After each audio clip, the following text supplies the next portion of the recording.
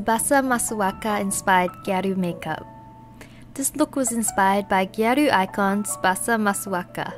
Her innocent wide dolly eyes are simply captivating and this makeup style is super flattering and cute, especially in photos. Let's get sticker photo ready. The most important part of this look is to create the illusion of bigger eyes by using false lashes, especially the lower lash, and keeping the rest of the makeup cute and natural as well as letting the eyes stand out by using a nude lip color. Step 1. Let's start our look by creating a flawless canvas. I'm using this BB cream, which is ranked one of Japan's best, and it's got great coverage and a powder finish. Using your favorite concealer, apply it to any areas that need extra coverage. Step 2. Create a simple eyeshadow look. Using a highlighting color or a shimmer beige shadow, apply it all over your lids and brow bone. Use a copper eyeshadow and apply it on your crease to create more depth in your eyes. Now using a liquid or gel type liner, line the top of your lids extending slightly but not completely as we'll finish it off later. Step 3. Lashes are the most important part of this look. Curl your lashes and apply mascara. This will help you prep for your false lashes. For this look we're using natural looking lashes. Apply these with tweezers or whatever you're comfortable with. I sometimes use my fingers. Now let's use a white shimmer eyeliner or a white eyeliner to create our round eyes.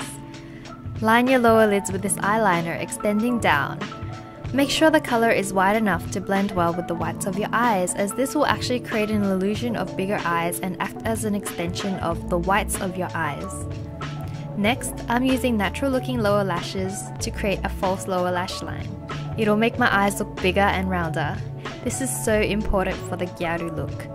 If this is your first time applying lower lashes, it may be a little bit difficult, but keep practicing as it's well worth it. You can finish off and extend your eyeliner to match your new eyes that you've created. Now let's go back to our copper eyeshadow that we used to create depth in our eyes and apply it to your new lower lash line and help you create the illusion of bigger eyes.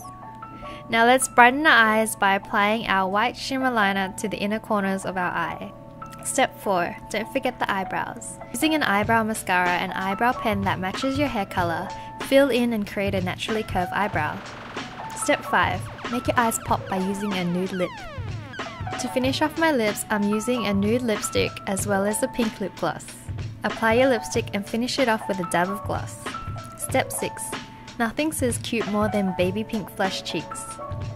Using a pink candy coloured blush, create a cute glow by concentrating the blush on the apples of your cheeks and blending upwards towards your temples. Now using a highlighting powder, apply it on the bridge of your nose, across the middle of your forehead, over your cheekbones and on your chin. Step 7. Totally optional, but I love Tsubasa's hair. Can't complete this look without cute straight bangs that Tsubasa always sports.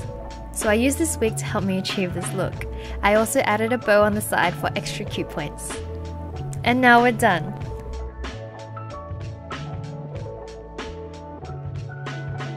Now we're totally ready to walk the streets of Shibuya.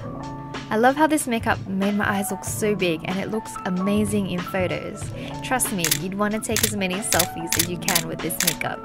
Don't forget to pair this look with a smile.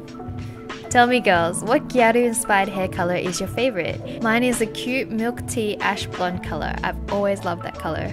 Make life beautiful. The wonderful world of Wengie. Don't forget to subscribe to all my channel updates and please check out my other makeup tutorials if you haven't already. I recently did CL's baddest female look and also did a great tutorial on how to achieve a small face using face massage, which will work perfectly with this makeup look. I also have a great blog, Twitter, Instagram, and Facebook. So please follow me and check out my blog. See you guys next time. Bye!